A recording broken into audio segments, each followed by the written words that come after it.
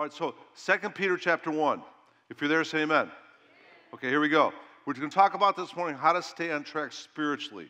That's an important topic because it seems to me, as a pastor that's been pastoring now for 30 some years, I've seen a lot of people will start out spiritually strong. A lot of people, will they'll, they'll get out of the gate sprinting. They'll be on fire for Christ. And then the days and the weeks and the months and the years go by, and they get off track spiritually. And I've not only seen that with Christians in my ministry of the church, but I've seen that with pastors. I've seen pastors that on fire for Christ and they get derailed and they get, don't stand track spiritually and they're not even in the ministry anymore. Breaks my heart. And it breaks my heart too when I see people that at one time are walking on fire for Christ and now they're just derailed. So we're going to look at this morning, we're going to look at how to not do that. I'm going to give you four principles this morning from Peter, the Apostle Peter, on how to stay on track spiritually. You know, the Apostle John wrote this in his uh, third epistle. He talked about uh, as, a, as his heart as a pastor says, I have no greater joy than to hear that my children walk in truth. That's a pastor's heart.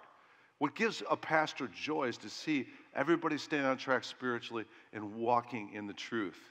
And my heart for myself and for y'all is let's be like Paul that says, I've fought the good fight, I've finished the course, I've what? Kept the faith. Let's be people that aren't just sprinting out of the gate and then not going for the long haul with Jesus Christ. Let's be people that can say at the end of our lives with Apostle Paul, man, I fought the good fight. I finished the course. I've kept the faith. And Peter's going to give us some tools this morning that will help us do that. So turn in your Bibles to 2 Peter chapter 1. We left off at verse 12 last week, and it says this. Verse 12, therefore I shall always be ready to remind you of these things even though you already know them, Christians, you already know them, but you've been established in the truth which is present with you. And I consider it right, as long as I'm in this earthly dwelling, to stir you up by way of reminder, knowing that the laying aside of my earthly dwelling is imminent, as our Lord Jesus Christ has made clear to me. And I will also be diligent that at any time after my departure, you'll be able to call these things to mind. Now, first thing Peter's saying is, is I want to remind you of these things because I know my imminent departure it's, it's right on the corner. Remember, Jesus told Peter back in John, uh, John chapter 21, he said, Truly, truly, I say to you, when you were younger, you used to gird yourself and walk wherever you wished. But when you grow old, Peter, you'll stretch out your hands, and someone else will gird you and bring you where you do not wish to go. Now, this he said, signifying Peter's death, what kind of death he would glorify God with. And when he had spoken this, he said to Peter, Follow me. See what Jesus was doing there? He was telling Peter that around the corner, after your ministry's through, you're going to die a death, and it was a martyr's death. We know that's true from church history. He died being crucified upside down in Rome shortly after he wrote this epistle. So he said, with this in mind, my imminent departure is right around the corner. He was reading the writing on the wall. He was seeing that he was about to be martyred. And he said, with, with this imminent death around the corner, I want to do this. First of all, Christians, I want to remind you of some things. I want, to, I want to stir you up with some reminders of truth, and I want to make sure you're established in these truths. Now, that's the first thing I want you to see. If you want to be a Christian that's going to go the long haul, if you want to be a Christian that's going to keep on track spiritually, you got to be putting yourself in places where you're reminded of truths and you're established in truths on a regular basis. Why? Because repetition is one of the greatest forms of teaching and learning. And as you get repeatedly taught the same truths over and over and over again, those truths are going to go to the core of your being, and it's going to help you live it out. It's, it's, it's so important that we just don't hear one truth and then we pass up. No, we need to be established in the same truths over and over and over again. It's so important. You know, um, I've read through the Bible now, Genesis to Revelation, probably at least, at least 10 to 12 times. I, I make it a habit every year to read the entire Bible, Genesis to Revelation. I read some Old Testament, Old Testament every morning, some New Testament, then every night, Old Testament, New Testament. I read about four chapters a, a day, two chapters in the morning, two chapters at night. And you say, well, why you, 10 or 12 times for the whole Bible, why do you do that? Why don't you, get, why don't you have some, well, because I need to be reminded over and over again of the truths that I read as I read through Genesis to Revelation. And as I read through Genesis to Revelation, God's word is living and active. It, be, it becomes alive to me, and as I'm reminded of truths like that God loves me, He loves a knucklehead like me, He loves me. And as I read these truths over and over again from Genesis to Revelation, it goes to the core of my being and helps me live out this Christian life. As I'm reading these truths, Genesis to Revelation, every year I read about how God forgives me. He forgives me not of some of my sins, but of all of my sins. The blood of Jesus cleanses me from all of my sins. And I see that from Genesis to Revelation, I'm forgiven by God. And that truth, to, it, I need to have that truth reminded over and over and over again. Because you know what? I sin and I make mistakes. And the devil's an accuser of the brethren, and he wants to condemn me. But then I read things like Romans 8 1 that says, There is therefore now no condemnation for those that are in Christ Jesus. And as far as the east is from the west, so God has removed my sins from me. And I'm reminded of those truths as I read over and over again of God's forgiveness from Genesis to Revelation. It's wonderful. And then I'm reminded too of the fact, as I read Genesis to Revelation, I'm reminded of the fact that, that, that not only does God forgive me, but I'm, I'm a child of God. I'm chosen by Him. I'm, I'm, I'm adopted into His family, man. I have His Spirit bearing witness to my spirit. I'm a child of God, and I can cry out to God, Abba, Father. And it's wonderful. I'm reminded from Genesis to Revelation of my status with God. I'm a child of God. And I'm reminded of truths like that of, of my eternal status too, that not only am I a child of God, I'm a joint heir with Christ. And one day I'm going to a place called paradise, and this is as bad as it's going to get because Christ in me, it's the hope of glory.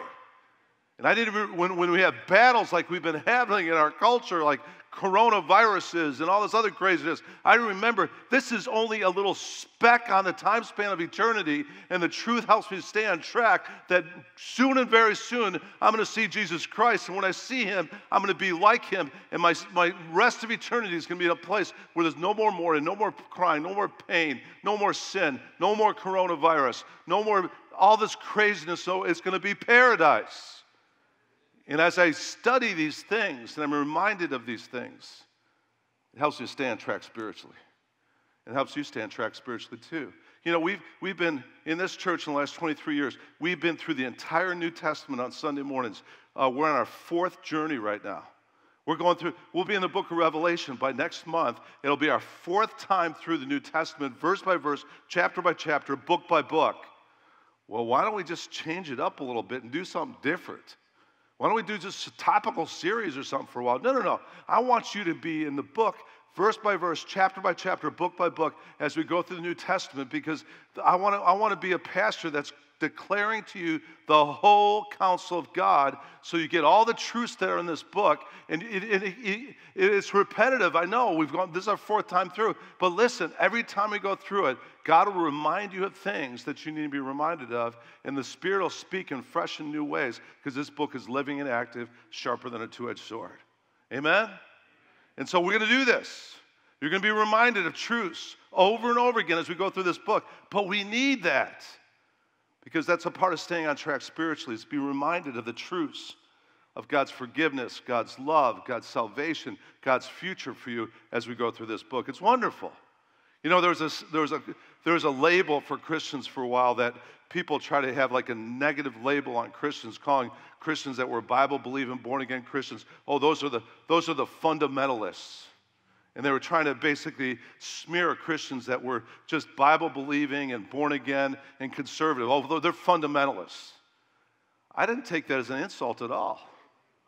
You know, fundamentals are a part of being successful in any area of life. If you want to be successful in any area of life, you got to stick with the fundamentals. And as you stick with the fundamentals and you go through those fundamentals over and over again, what happens is you become successful in those areas. I remember uh, early on when we first started the church, I went with uh, our head usher, Wayne Coker, to a Lexington Medical Center fundraiser. And I don't usually go to fundraisers like that, but my favorite quarterback of all time was the speaker for this fundraiser, Joe Montana from the San Francisco 49ers. And so Wayne and I went, and I was just all ears listening to this guy because I think he was probably the greatest quarterback that ever played football. Well, Tom Brady's got more Super Bowls now, but still, I'm, I'm a Joe Montana fan. And Joe Montana won four Super Bowls. And if you look at those four Super Bowls that he won, a lot of the reason why they won those Super Bowls is because his incredible ability to, be, to, to drive the team down the field with his quarterbacking. And so it's all ears. How did this guy get so good at quarterbacking? You know what he to- told us during the uh, speech he gave at the Lexington Medical F- Fundraiser? He said that, that he would, every day in high school football practice, he would have a three or four hour practice. And then after the three or four hour practice, he would come home, and his dad was waiting for him in their backyard of where he lived. And his dad had this uh, big tire rope swing on the back of their tree, on their tree in the backyard. And his dad would be ready for him. And an hour every day after a three hour practice, every day, his dad would be swinging this rope swing back and forth with the, with the tire. And he said, Okay, son, we're going to do this for an hour. And as that tire was going back and forth, he had to throw the ball through the swinging tire for an hour. Bam, bam, bam, bam. And as he practiced those fundamentals of being able to move this, uh, shoot it through this tire at a moving, moving target, guess what he got good at? Throwing the ball at a moving target. It's called fundamentals, right? How do we get good at Christianity? Well, it's through a living relationship with Jesus Christ where He speaks into our lives through the Word of God on a regular, daily basis, and we get the fundamentals of these truths in our lives so we can live them out. Amen? So, the first principle in a successful life, Christianity wise, in regards to living it out and, and, and staying on track spiritually, is be in a place where you can be established in God's truth and you can be reminded of God's truth day in and day out. In church, that's why it's so important what we're doing here at Calvary Chapel. If you come to church here, you're going to study the entire New Testament on Sunday mornings, every verse, every truth in the New Testament. We're going through Matthew to Revelation, and we need to be established in these things if we're going to live out our Christianity. And it's also church why it's so important that you have a daily time where you're in God's Word and you get established in the truth of God's Word on a daily basis and be reminded of these things. Amen? Amen. Amen? Amen? All right, let's go on now. After being reminded, Peter says the next principle for being established in truth and living it out and, and being people that stay on track spiritually. Let's look what it says. For verse verse 6 or, let's see verse 16 for we do not follow cleverly devised tales when we made known to you the power and coming of our lord jesus christ but notice what he says. But we were eyewitnesses of his majesty. For when he received honor and glory from God the Father, such an utterance as this was made by him, by the majestic glory. This is my beloved Son, with whom I am well pleased. And we ourselves heard this utterance made from heaven when we were with him on the holy mountain. Now, Peter's reminiscing now about an event that happened that's recorded in all three synoptic gospels. Synoptic gospels are Matthew, Mark, and Luke. And this event's called the Transfiguration. And what happened was Peter, James, and John, the three closest disciples of Jesus, were brought up to this mountain. And they walked up this mountain with Jesus. And when they got to the top of the mountain, they got tired from that hike or whatever, and they all fell asleep. And when they woke up on this mountain, all of a sudden they were they saw the transfigured Lord. Now, the word transfigured, interesting word, metamorpho. Guess what English word we get from that? Metamorphosis. It's that metamorphosis is what's, what's talked about when a caterpillar goes into a cocoon and then after a period of time becomes a butterfly. And what it's saying there is when Jesus went up to this mountain, all of a sudden Peter and James and John, when they woke up, Jesus was transfigured, metamorphosed, and he was brought to his glorified state. And Peter, James, and John saw Jesus in his glorified state.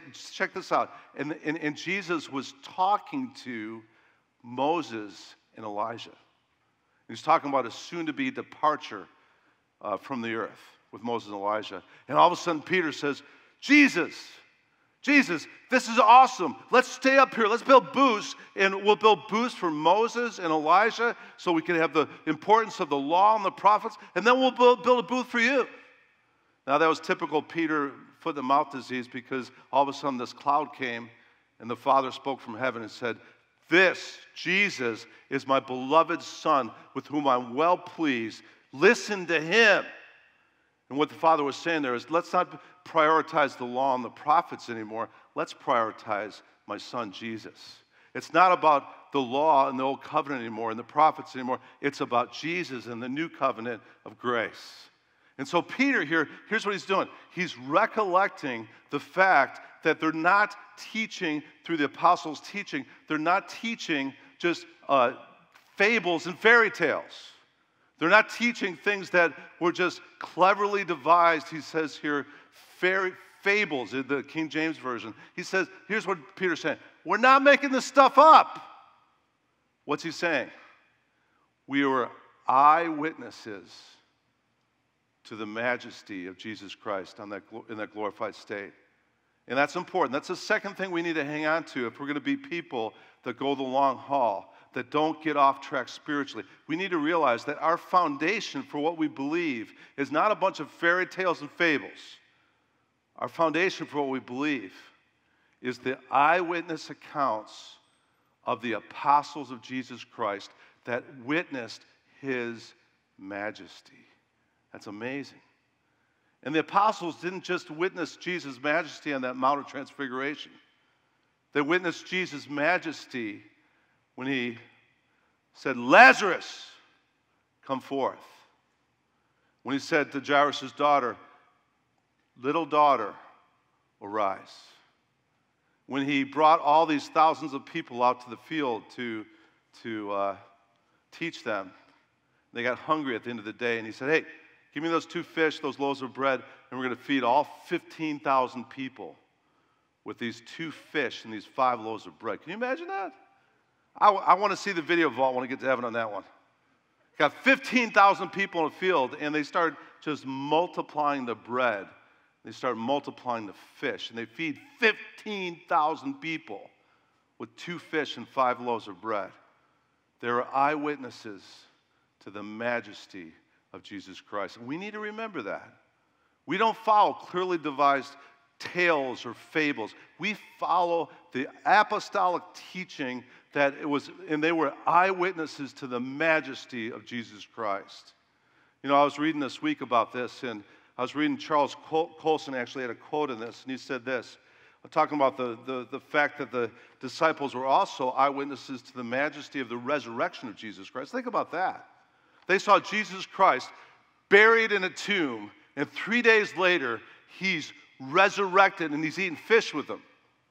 And it says this I know the resurrection is a fact, Charles Colson. I know the resurrection is a fact, and Watergate proved it to me. How? Because 12 men, Charles Colson says, testifies they had seen Jesus risen from the dead, and then they proclaimed that truth for 40 years, never once denying that truth. Every one of these 12 men was beaten, tortured, stoned, put in prison. They would not have endured this if it weren't true. Watergate embroiled 12 of the most powerful men in the world, and they couldn't keep alive for three weeks. You're telling me that the 12 apostles could keep alive for 40 years? Absolutely impossible. And I would say amen to that. Listen to some of the ways these apostles died. I read this about uh, tradition, what tradition tells us about the death of the apostles. It says that Peter died in AD 64 to 68 sometime during Nero's persecution of the Christians. He was crucified upside down on a cross in Rome. Andrew was crucified on St. Andrew's cross. The cross had the shape of an X. He was not nailed to the cross, but he was tied to it. It took several days before he died. James, the son of uh, Zebedee, died in AD 44 after he was beheaded by King Agrippa. Uh, uh, the beloved apostle John was in exile uh, to the Isle of Patmos before he was released and went to Ephesus where he died. Philip died in Hierapolis, Turkey, by, by hanging. Nathaniel believed that uh, uh, had ministered in Armenia and was flayed to death with knives in India. Matthew died a martyr's death in Ethiopia. Uh, Thomas, who we call Doubting Thomas, ancient tradition says that Thomas died near uh, Madras, India, in AD 70. He was killed with a spear. James the Less, tradition says, was crucified in Lower Egypt and sawed in pieces. Thaddeus was martyred in Persia. He died via arrows. Simon the Zealot was crucified. It's believed that he ministered together with Thaddeus. Now, I'm reading all that to you because here's, here's, here's what you need to understand men don't die for a lie. If they made this stuff up, if it was just cleverly devised tales made up by the apostles, the first apostle, when he died, the rest of them would be running to the hills with their tail between their legs saying, We made it up. That's what Charles Colson is saying. But they didn't. They were eyewitnesses to the majesty of our Lord Jesus Christ. And they were eyewitnesses all the way to the end.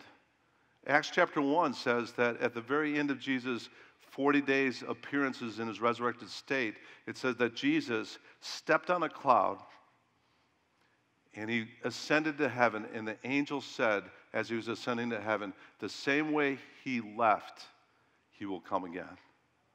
And they saw that. Eyewitnesses of his majesty. And this is important, church. We need to realize that what we believe, the truths we stand on, were not made up.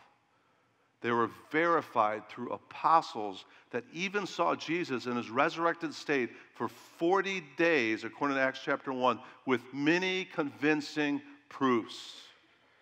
And I think as we go through our Christian pilgrimage, we need to remember it's not made up. It has the foundation of apostolic teacher, teachers that died for the truth of what they were teaching throughout the New Testament. Amen? And then it goes on back to 2 Peter chapter 1, verse 19, great verse. And so we have the prophetic word made sure to which you do well to pay attention as to a lamp shining in a dark place until the day draw, dawns and the morning star rises in your hearts. Now, third way that we stay on track spiritually. Well, first, first way going back is being a place where you're reminded of God's truth on a regular basis. Second way is remember that our foundation as apostolic foundation of eyewitnesses of the majesty of Jesus Christ. The third thing that's important if we're going to stand track spiritually is to realize that this book is prophetic. And it's prophetic in regards to, it speaks of future events, many of which have already taken place and have been made sure. The prophetic word has been made sure. And so, what we believe again is not only not cleverly devised tales, but it has the foundation of the prophetic word being made sure. And I like what it says there. There's this prophetic word that we have right here is like a lamp shining in a dark place. Interesting. Dark place in the Greek is a murky place. And so we got a problem as human beings. Our problem is we were created to be in a Garden of Eden, paradise kind of world. But what happened because of sin is our beautiful paradise we were created to be in and exist in has become a dark place. It's become a murky place. When I think of murky, I think of swamp. We're living Christians, we're living in a swamp right now. We're living in a dark place. And the way that we have light in our lives in this dark place is through this prophetic word. That's why I love the Bible so much. It lights up my life. It's a prophetic word made sure that shines like a lamp in a dark place and brings light into our lives. God's word is a lamp under our feet and what? A light onto our path. And how do we know the prophetic word is made sure? How do we know that we could stand on the fact that this prophetic word is made sure? Well, let me read a little bit on that too. I was reading this this week on fulfilled prophecy. It says, unique among all the books ever written in mankind, the Bible accurately foretells specific events in detail, many years, sometimes centuries before they occur. Approximately, listen to this, approximately 2,500 prophecies appear in the pages of the Bible. About 2,000 of the 2,500 prophecies uh, talking about future events, 2,000 have already been fulfilled to the letter with no errors. That's the prophetic word being made sure. Well, what, what are some of those things that have, that have already been specified and accurately fulfilled in, in, our, in our history? I'll give you just a few of them. Listen, 300 of these 2,500 prophecies were fulfilled just in the life of Jesus Christ. I'll give you some examples.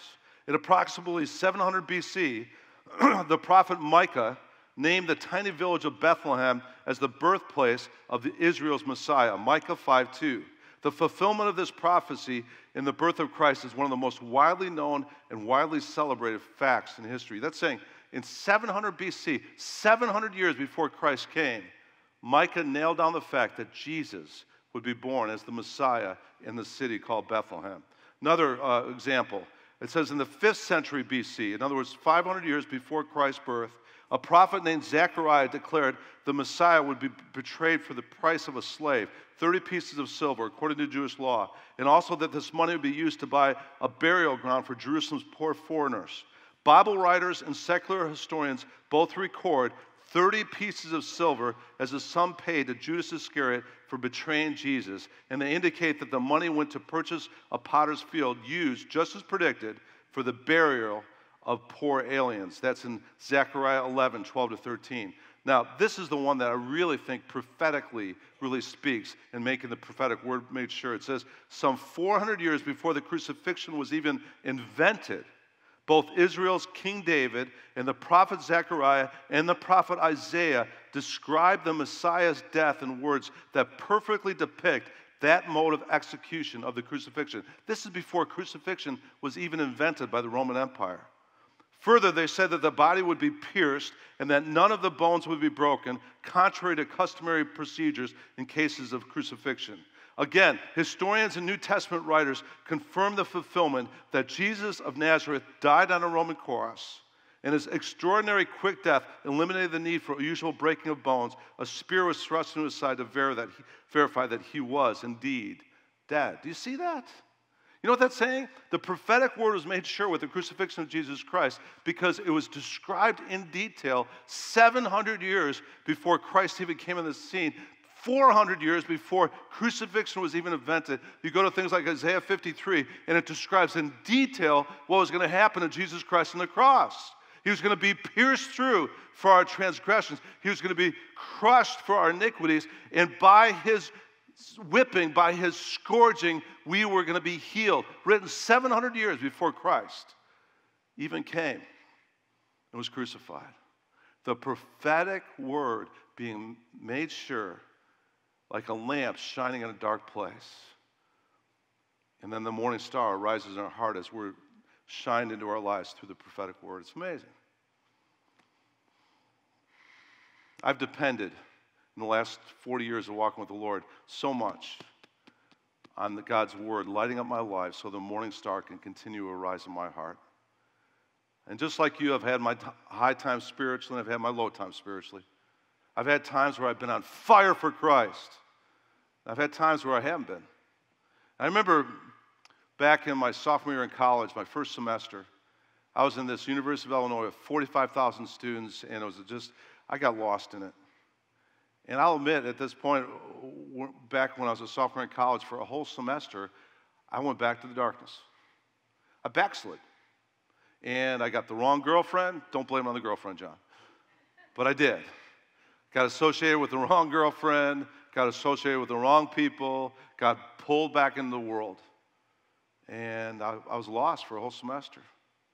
And then at the end of that semester, my fall semester, my sophomore year in college, I went home and the first thing I did after I got out of that swamp I was in was I went to Dr. Dave's Bible study Friday night. And it was like, oh, all of a sudden the lamp of God's word was shining in my life again.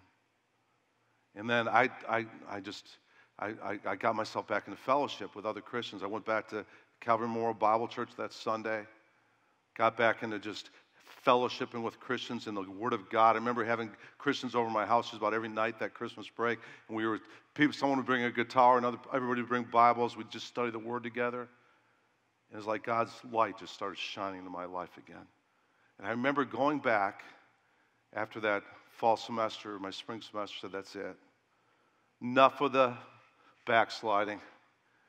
I'm going to get back to living for Christ.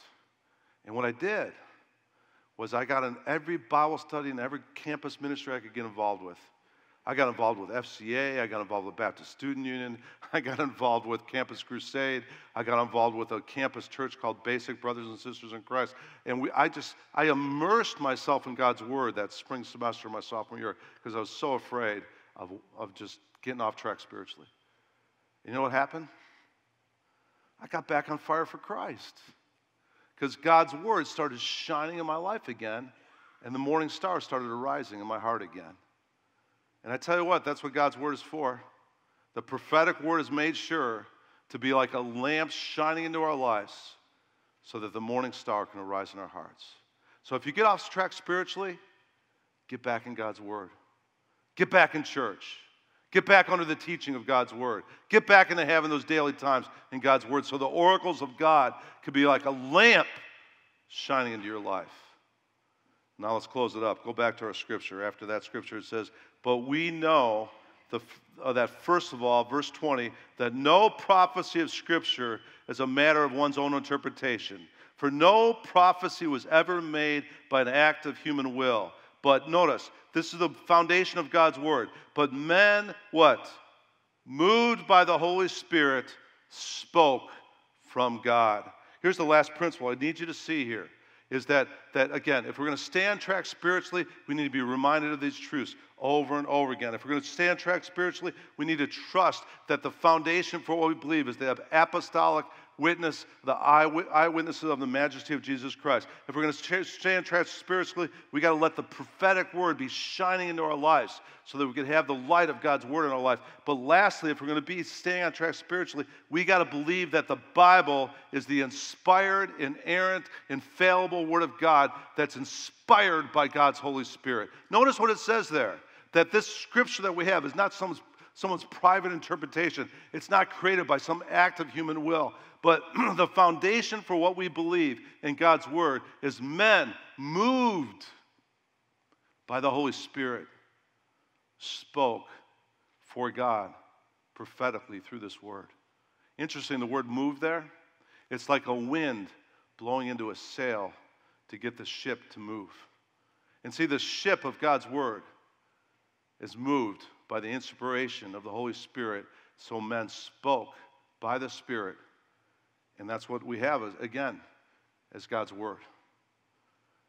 This book is amazing because, yeah, it's got, it's got 40 different authors, 1,500 year time period that it's written in, and it's written over three different continents. But if you go through this book, it all ties together beautifully. All 66 books are in perfect harmony. You know why? There might be 40 human authors, but there's really only one author. And that author is the Holy Spirit that moved men to write the pages of this book. And we need to understand that. This book is not just a book written by human beings, it's a book that's inspired. Actually, God breathed. That's what it says in 1 Timothy 3 16 to 17, or 2 Timothy 3 16 to 17. It says that all scripture is inspired by God. NIV version says, is God breathed and profitable for teaching, for reproof, for correction, for training in righteousness, so that the man of God may be adequate, equipped for every good work. God breathed. It's a whew. men moved by the Holy Spirit wrote the pages of this book. And don't let anybody ever tell you else anything different. It's inspired by God, it's God breathed.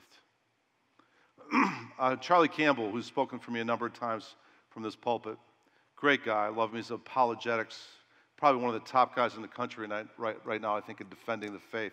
Amazing. We're going to have him back here sometime, probably in January. We're talking about bringing him and Frank Turek together to do an apologetics Saturday seminar and then have Frank Turek, probably, or Charlie or Frank, speak on Sunday mornings. But uh, Charlie Campbell's come up with this acrostic that I like. And it, it talks about the, the, the truth that God's word is inspired, it's spoken by men, but moved by the Holy Spirit.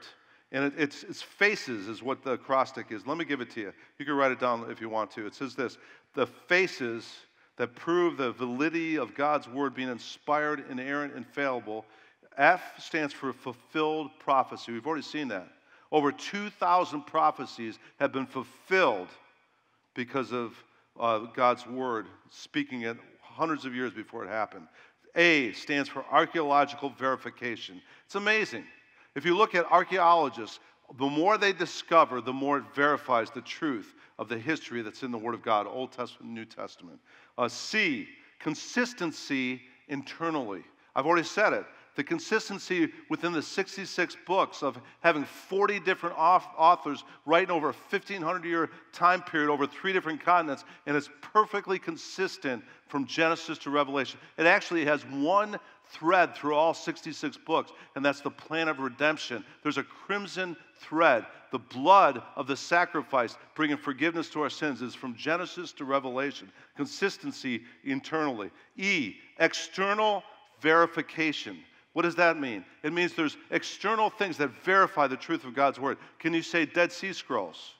There's Dead Sea Scrolls that, were, that, that are proven by secular uh, uh, archaeologists that they're before the time of Christ. The Dead Sea Scrolls are dated 150 BC, but they are perfectly in line with what we have with the Word of God today. I've been there in Qumran three different times on our trips to Israel, and it's amazing. They have the whole scroll of Isaiah, all 66 chapters of Isaiah that go back to 150 BC dated, and every single word and every single chapter is exactly what we have today, word for word, all 66 chapters going back to 150 BC. That's external verification. And the last thing that proves the validity that this book is inspired, God breathed, infallible, and inerrant is scientific accuracy.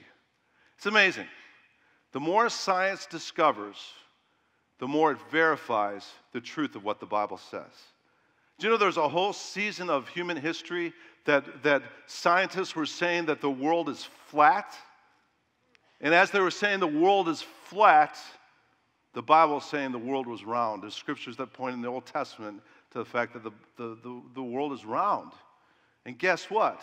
When Christopher Columbus sailed, he didn't go off the edge of a flat world. And that's what they thought. They were scared to explore places too far in the oceans because this world's flat and you'll go right off the flatness of this world. And science found out differently, and the Bible again was verified through the truth of what the Bible says. It's amazing. Over and over again throughout human history, scientists have said something, the Word of God has said something differently, and then as the years and centuries evolve, what happens is scientists realize what the Bible says is scientifically accurate. Faces. Let's go through that one more time. Do you got it? What's faces? Fulfill prophecy. A, archaeological verification. C, consistency internally. E, external verification. S, scientific accuracy. Amen? So, what we believe, what do we believe? We believe that the Word of God is not a book just written by men. Men moved by the Holy Spirit spoke from God. And we believe that it's okay to be reminded over and over again of the truths of this book because that will establish us in truth. And what do we believe? We believe also that this book is a book that is so powerful because it's like a lamp that shines in the dark places of our lives so that the morning star can arise in our hearts. And what do we believe? We believe that this isn't fables or fairy tales. It's men, again, there were eyewitnesses to the majesty of Jesus Christ, wrote the pages of this book. I don't know about you, but I love God's Word. And I love the fact that as a church, we're staying on track spiritually because we're sticking with the book. And we're going to be a church until Jesus comes that's going to allow this book to be a lamp unto our feet and a light unto our path. And Christians, when you start feeling like you're getting derailed, encourage you get back in the book. Get back in a place where you can hear God's word taught. Get back in a, a place where, on a daily basis, you're allowing God's word to just shine in your lives. It'll keep you, keep you on track spiritually. Amen?